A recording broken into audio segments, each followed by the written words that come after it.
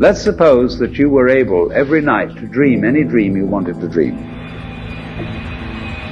And that you could, for example, have the power within one night to dream 75 years of time.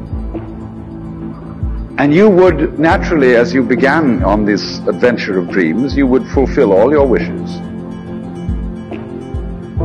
You would have every kind of pleasure you could conceive. And after several nights of 75 years of total pleasure each, you would say, well, that was pretty great. But now let's, um, let's have a surprise. Let's have a dream which isn't under control